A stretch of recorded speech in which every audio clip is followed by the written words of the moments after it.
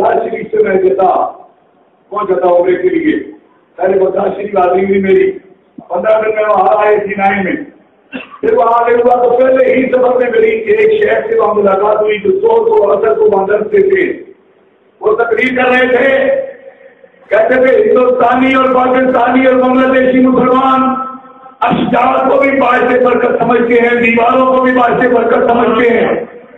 और ये जालियों को भी बायसे बरकत समझते हैं इसमें क्या बरकत है? जो लोहे की जाली है, ये पत्थर की दीवारें हैं, इसमें क्या बरकत है? ये और जब ये तकलीफ़ फरमाने से मैं अल्लाह की कसम उठा के कहता हूँ, काफ़ी देर मैंने सुनी ये बात, लेकिन बर्दाश्त नहीं हुई यकीन में मैं खड़ा हो गया। क्या एक सवाल है। कहने लगे, करो। मैंने कहा अगर किसी चीज़ में बरकत नहीं होती तो अल्लाह की बारकना हौला हो क्या है? कुरान का फरमान है हम हिंदुस्तानी को जानते नहीं होंगे। आप अरबी है, आपको तो अच्छी तरह मालूम होगा। अल्लाह की बारकना हौला हो जो फरमाया। क्या है जिसको अल्लाह बरकत फरमा रहा है? उनका नाम बोले नाम पूछा उनका। शेख उमर सूडान से ताल्लुक रखने वाले मुझे कहने लगे, मैंने तो जहाँ तक पढ़ा है का मतलब है कि होना हज़ार को वहाँ बड़े बागात हैं, जिनको अल्लाह ताला हदायत को फरमाता है मैंने इसका कोई इम्तिहान नहीं हदायत तो स्विट्जरलैंड में भी है। हदायत तो हमारे पाकिस्तान में भी है मेरे इलाके से मुतफिल तहसील गुलवाल में पूरी पाकिस्तान से ज़्यादा मानचे के बागात है उसका ज़िक्र तो नहीं बोल पाया कि बरकत कहाँ रखी है या बरकत स्विट्जरलैंड में रखी है कि पूरा मुल्क धूलों का मुल्क है उसको तो बाबर कर नहीं फरमाया ये क्या है जिसे बरकत फरमाया है तुम्हें बताओ मैंने कहा आप इससे नहीं बताऊँगा, मैं आपके साथ जाऊँगा मकसद में। मकसद में जाऊँगा, किताब खोल के दिखाऊँगा फिर चलो मेरे साथ। मुझे बाजू से पकड़ लिया, मकसद में लेके बातें उम्र के करीब और तस्वीर इतने जरीर उतार के लाए। पर मैं अगर इसमें दिखा दो तो मैं तुम्हारे एहसान मंद हूँ। और अगर ना दिखाओ तो मैं तुम्हें जेल भेजूँगा क्योंकि तुमने मेरे साथ बड़ी यदि क्रास टेस्ट किया, सामने खड़े हो गए। मैंने कहा इसमें शरीर खोल दी आपने ही हाथ लगाया है। और की तस्वीर उन्होंने सूर्य बनी इसराइल की निकाली।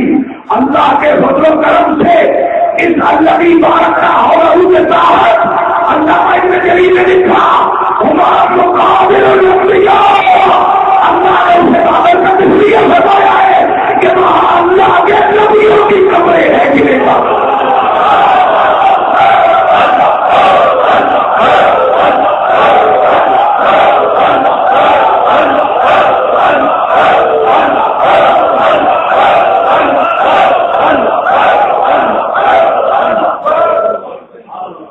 तवज्जो का तालिब हूँ, आज हम पर ये इल्ज़ाम लगाया जाता है कि दरबारों के बड़े मानने वाले हैं। ये उर्स करने वाले हैं। दरबार का ज़िक्र करते हैं, कबरों का ज़िक्र करते हैं। बल्कि बाद गुजरात इतने तेज है कि अभी बाकायदा कबर पुरस कहते हैं। कबरों के पुजारी है, कबरों में फ़ोटो भेज करके रखते हैं। मैंने कहा आप भी जितना कबरों से मायूस है, वो भी कोई तरीका नहीं कि इन कब्रों के लिए तो रब ने मुस्तफ़ा का मेदान में रूह भी कब्रों वाला बना दिया है।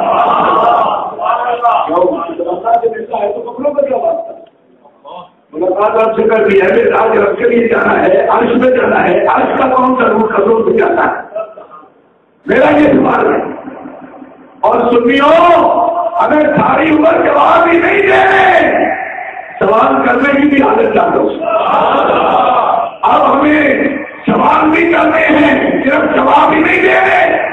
कि हम चाहते मस्त बने रहे, इनकी सवाल वो करें। और हमने जवाब दे आज का सवाल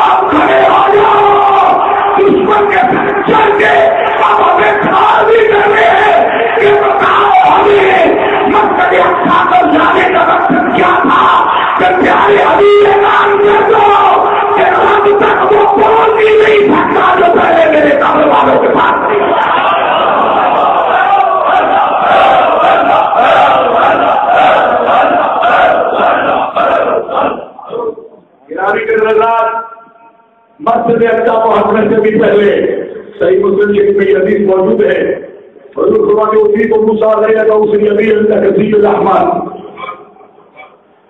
मैं ज़िंदगी अमीन मुझे लाए महराज की रात सुर्ख टीले के पास और फरमाया कि हम इस्लाम की कब्र है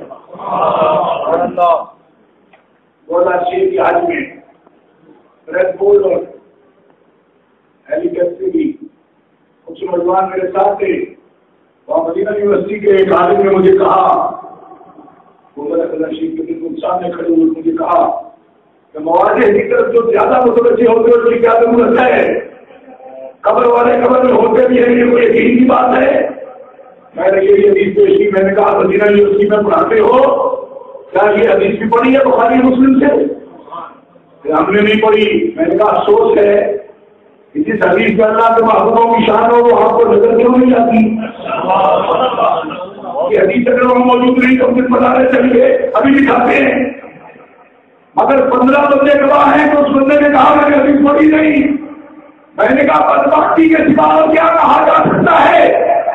कि आपको अगर कहीं दूर दराज कोई सोच भी ऐसा नज़र पड़े कि जिसमें अल्लाह के वलियों की और नबियों की शान में कोई कमी हासिल की जा सकती हो तो आप चल दौड़ते हो और जहाँ उनकी आत्मा के दीदार नज़र हो, उससे रास्ते चुरा लेते हो। मालूम वो आप तुम्हारा मेरे चौबन का तमाशा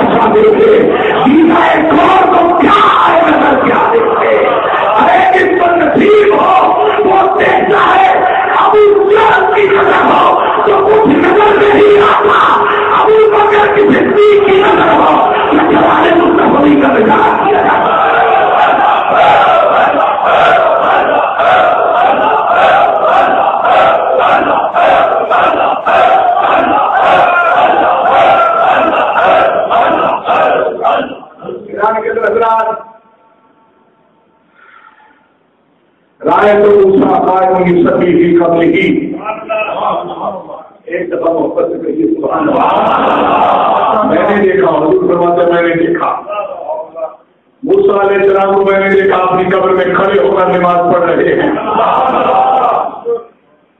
आज तो उसके अंदर को दूर सलाम पढ़ रहे थे इसमें भी कोई कलाम नहीं। दूर सलाम पढ़े ये सभी से ये भी दावत हो सकता है मगर ये कायदा है तो हजूर हयात के लिए ज़िंदगी के सबूत के लिए ये लफ्ज बोलते हैं। क्यों? तो मुर्दे भी कभी नमाज़ पढ़ते और ये सिर्फ़ सल्लल्लाहु अलैहि के साथ नहीं करवाया गुरबत आलम और जाओ को मुँह हिंदू सल्लू ये हदीसे मुतबाक है जिसका उनका सारे इस्लाम से खारिज हो जाता है। इमाम हबी ने इस हदीस में नकल किया। हुजूर फरमाते थे मूसा नहीं, अल्लाह के सारे नबी अपनी कब्रों में ज़िंदा है और निभाएगा अकीदा है। वल जमात और वो अकीदा है जो आदमी के मुसलमान के साबित है।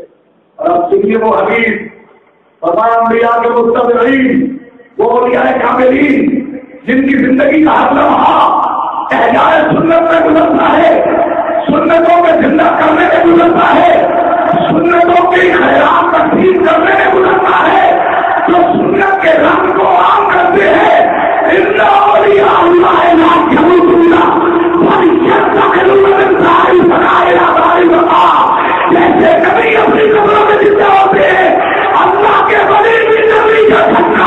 धक्का अपनी कब्रों में ज़िंदा होते हैं